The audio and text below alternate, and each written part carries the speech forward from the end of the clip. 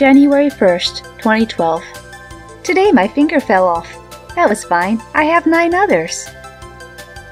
February 1st, 2012. Today my toe fell off.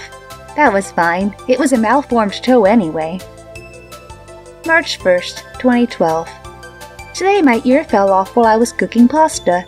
I scooped the ear out of the pot and put it on a napkin. I removed the earring, then put the ear back in. I really like cartilage. April 1st, 2012. Today part of my nose fell off. Not the whole nose, just the ugly part. I thought about eating it, but noses have boogers, and boogers taste gross. So I put it in the jar with my finger and toe.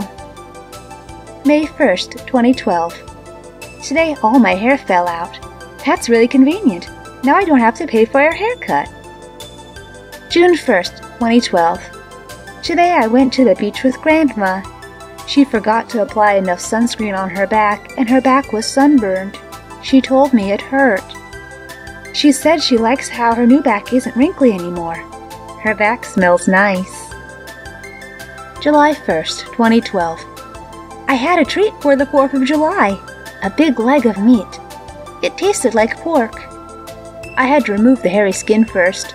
The skin was too gross for a scarf, so I put it in the jar. August 1st, 2012. Today I visited my grandfather. He likes it when I visit him.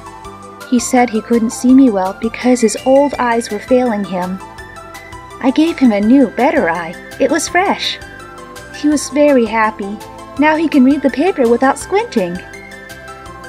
September 1st, 2012. Today I rubbed my eyes when I was still groggy with sleep. My eyelashes really do look like a doll's. October 1st, 2012.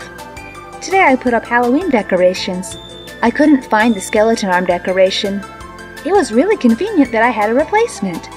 The neighbors say it's even scarier than a skeleton arm. November 1st, 2012. Today I ate a tasty dinner I braised it and added sage. People spend a lot of money on lipstick. Now I can save money. Some people eat cow's lips. I want to try that now. December 1st, 2012. Today I made a friend. She was in the nurse's office. She was really sad. She said she took a terrible fall while playing football and broke one of her legs and that she couldn't play on the team anymore.